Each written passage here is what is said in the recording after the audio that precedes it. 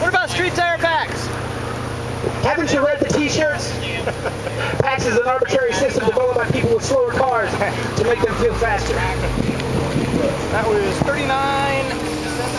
yeah, 39, 7, 1.